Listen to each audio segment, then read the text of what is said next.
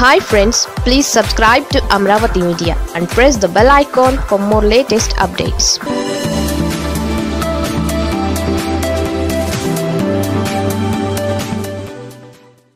ఆ సీనియర్ నేత అంటే చంద్రబాబుకు భయమా మొహమాటమా? తెలుగుదేశం పార్టీ అసలే కష్టాల్లో ఉంది. అనేక నియోజకవర్గాల్లో నేతలు కాడి పడేశారు. దాదాపు పదిహేనేళ్ళ నుంచి గెలవని నియోజకవర్గాలను సైతం ఇప్పటికీ చంద్రబాబు పట్టించుకోవడం లేదన్న విమర్శలు వినిపిస్తున్నాయి. సీనియర్ నేతలను పక్కన పెట్టడం ఇష్టం లేక అక్కడ మరో నేతకు అవకాశం ఇవ్వకపోవడం వల్లనే వరుస అపజయాలు మూటకట్టుకుంటున్నారు వరుస అపజయాలు మూటకట్టుకుంటున్నారు తుని నియోజకవర్గంపై చంద్రబాబు ఇప్పటికీ ఒక నిర్ణయానికి రాలేకపోతున్నారు. తుని నియోజకవర్గం సీనియర్ నేత యనమల రామకృష్ణుడు కుటుంబానికి చంద్రబాబు అప్పగించేశారు.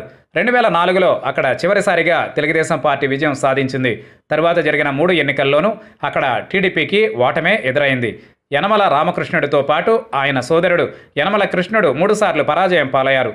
గత ఎన్నికల్లో కొంత హోప్స్ ఉన్నా జగన్ వేవ్ ముందు అది సాధ్యం కాలేదు. యనమల రామకృష్ణుడు ఇక రాజకీయంగా రిటైర్మెంట్ తీసుకోవాల్సిన పరిస్థితి. ఆయన సోదరుడు కృష్ణుడుకు అక్కడ తెలుగుదేశం పార్టీ కేడర్పై పట్టు లేదు. ఈసారి వారికే టికెట్ ఇచ్చినా ఓటమి ఖాయమన్న కామెంట్స్ సొంత పార్టీ నుంచే వినిపిస్తున్నాయి. యనమల ఫ్యామిలీ నుంచి ఆ నియోజకవర్గాన్ని తప్పించే సాహసాన్ని చంద్రబాబు చేయలేకపోతున్నారు. యనమల ఫ్యామిలీకి వస్తే మళ్ళీ ఓటమి తప్పదని స్థానిక కేడర్ చెబుతున్నా చంద్రబాబు పట్టించుకోవడం లేదు. యనమల రామకృష్ణుడు ఫ్యామిలీ సైతం ఇక రాజకీయంగా ఆ నియోజకవర్గంపై పెద్దగా హోప్స్ పెట్టుకోవడం లేదు. కృష్ణుడు యాటిట్యూడ్ కారణంగానే ఈ పరిస్థితి తలెత్తిందంటున్నారు.